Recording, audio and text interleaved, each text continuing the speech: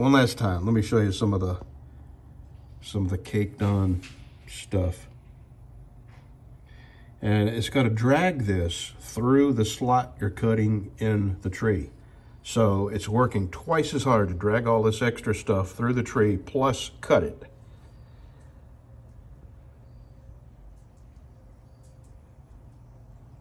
Already. See you Monday. All right, there's my chain in there. and this video is how to get the stuck resin off your chain. So I got about an inch of water in there and I put two capfuls of household lye. And immediately it turned brown. And I'm just gonna shush it a little bit and I'm gonna give this about two hours. And then uh, we'll see if that stuff will come off of there. Because uh, I have tried everything. Oh, and I heard this from, what is his name? Buckin Billy Ray? That's Buckin with a B. Buckin Billy Ray. I think he's in Canada. He's a chainsaw tree cutting guy. And uh, he's the one I got this from. So we'll see if it worked for me. Because I have tried everything else. All right, we'll be back in a couple hours. Okay, I'm gonna shush it again, but let me warn you, this lye, this stuff is dangerous. If you were to get this in your eye, it would blind you. Or at the very least, hurt bad. So, uh, I hear a train. Okay, what a huge difference. Huge difference. So what I did was dump that lye water out over my fence. And uh, then I rinsed this off with regular water, just faucet water. And now I'm gonna take this our brush and try to clean up the last little bit of schmutz that's on it. And then I'm gonna uh, saturate it with oil and put it back on my bar here. I gotta clean that bar out and get this ready to use. As soon as my compressor airs up, I'm gonna blow the water off of this chain. Then I'm gonna soak it down with some uh, WD-40 and put it back on the bar.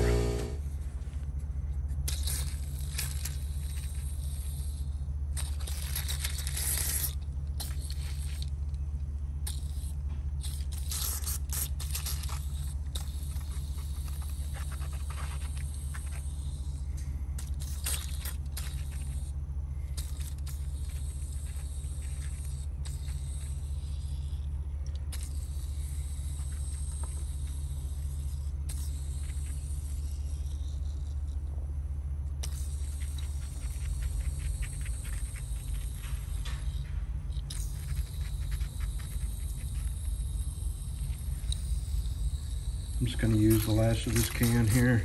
It's almost out.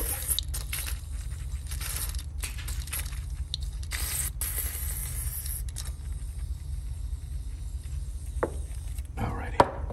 All right, let that sit for a minute.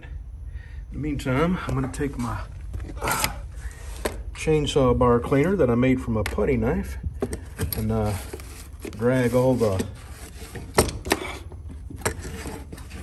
schmutz out of this groove here. Then put a little oil down that groove, put this back together and we'll be all set. Let me just give you a, let me just give you a, a close-up of the chain here, just so you see how much of the stuff that came off. I mean, it's almost brand new, clean. I mean, it doesn't look brand new, but it's almost like uh, as clean as it would be brand new out of the box. So I'm really happy with that. And now we have discovered the secret. It's not a secret anymore because I'm going to tell everybody I know how to get the schmutz off your chainsaw chain and uh, all the different ways I've tried to doing it. You know, somebody mentioned that maybe I should put it in my uh, tempering oven and heat it up. And you know, that might have worked. I would be a little bit concerned of uh, removing the temper. I don't know what temperature these were tempered at. You know, these teeth are hardened and I don't know what temperature they were tempered at, and I don't know what at temperature they would lose their temper at. So I would be a little leery of that. Uh, if the lye didn't work, I would have tried that. But the lye works great.